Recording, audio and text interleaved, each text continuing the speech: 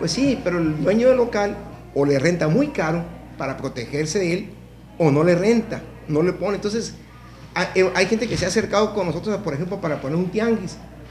nos quieren rentar 100 personas a la vez. Lo hemos visto con un jurídico y dice, es imposible, me dijo, porque si tú le rentas, después no lo vas a poder sacar.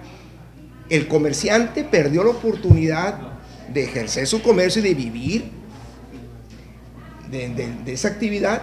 Y también nosotros los propietarios de la tierra perdimos ese derecho porque tenemos miedo, no hay la certeza.